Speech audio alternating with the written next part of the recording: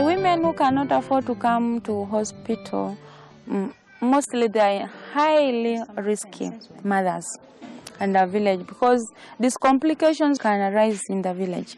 And they, most of them die. They end up dying. That's why we have high maternal mortality rate in Uganda. Uh-huh.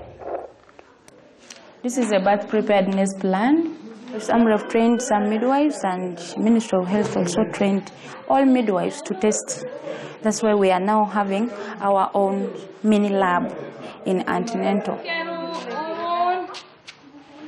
When I discharging, eh? I'm discharging these mothers from the ward. They had a normal delivery. What about this one? I'm discharging even that one. so this one had a normal deliveries yesterday at night, and all the babies are alive. The biggest number of babies I deliver in per night can be five. It varies. Like yeah, the other day I delivered five babies at night, which I discharged, I discharged yesterday afternoon. Uh-huh. Aya.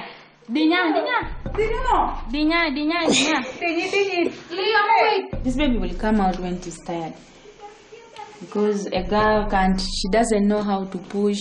Is it good around the neck?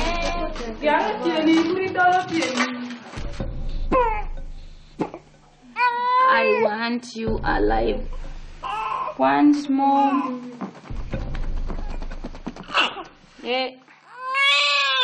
Good. 2.6. I was also born a premature, but was somebody, uh, a skilled traditional birth attendant, who saved me.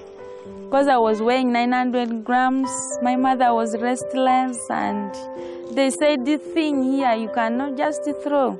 But the lady said, No, we keep this thing 24 hours working. And these mothers in this village, in our communities, they believe in you. I do the job because I have the feeling, the passion for, for the mothers.